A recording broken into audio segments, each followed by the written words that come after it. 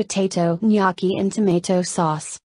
Ingredients 2 and a half pounds russet potatoes, about 4. 1 egg. 1 teaspoon salt. Pinch freshly grated nutmeg. 1 to 1 and a half cups all purpose flour. 1 4th cup grated parmesan, plus more for serving. Handful fresh basil leaves, about 1 4th cup, for garnish.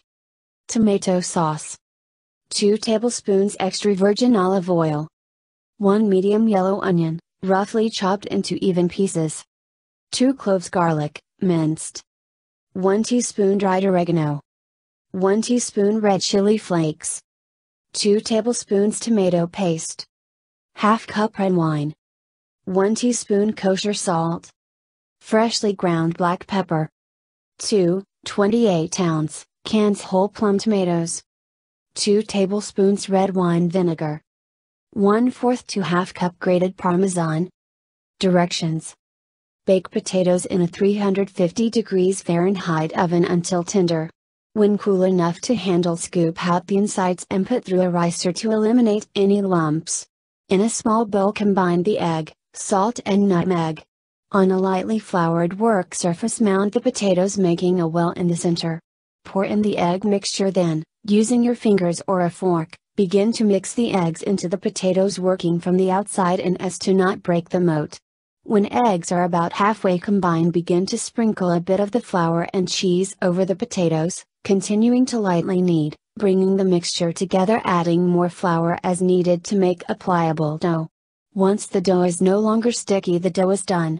It is important not to overwork the dough creating gluten giving the dough a dense texture. Working quickly and lightly will give you light, airy gnocchi. Dust the board with flour and roll one fourth of the dough into a long rope about 1 inch thick. Cut into thumb size sections and set aside, tossing with a bit of flour. To avoid them from sticking together. Repeat with the other pieces of dough. Using the back of a fork take each gnocchi and gently roll over the tines by lightly pressing with your thumb and allowing the gnocchi to fall off the fork. Boil gnocchi in a large pot of salted water until they float. When they float, they are done. Remove and toss immediately with spicy tomato sauce. Garnish with torn basil leaves and additional cheese. In a large saucepot over medium high heat, add olive oil. Add onions and saute until softened, about 3 minutes. Add garlic and saute until fragrant. Add oregano, chili flakes, and tomato paste. Stir until combined and paste cooks into the mixture, about 1 minute. Add red wine, stirring until almost completely evaporated. Season with kosher salt, pepper, to taste, and tomatoes using the back of a spoon to break up the tomatoes. Bring to a boil then reduce to a simmer and allow to cook down about 20 minutes. Taste the sauce and add red wine vinegar, cheese and additional salt and pepper, if needed.